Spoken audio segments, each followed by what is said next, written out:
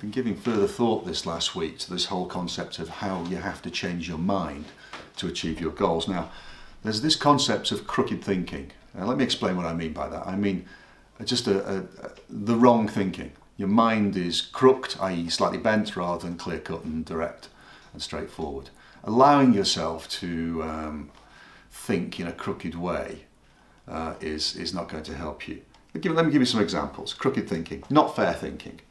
Um, well, that's just whimsical, isn't it? That's just us being weak and spineless and, and allowing events to condition us. Another one is driver thinking.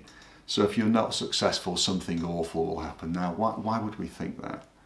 Stopper thinking is another one. Selling yourself short. Why would you sell yourself short when the very message you need to bring to the marketplace is that you're positive, committed to your products and services, committed to your customers, and utterly clear about what you're selling and providing them? Final one is illogical thinking, which, uh, as an example of crooked thinking, is all about, well, pursuing an approach without having the right facts and data. Now, would we really want to be caught um, guilty of any of those three types of thinking? I think not. Rather, I think it's a case of being clear about our direction, clear about our strategy, and that way our thinking can be consistent with what we're looking to achieve and how we're going to do it. Let's banish crooked thinking from our businesses.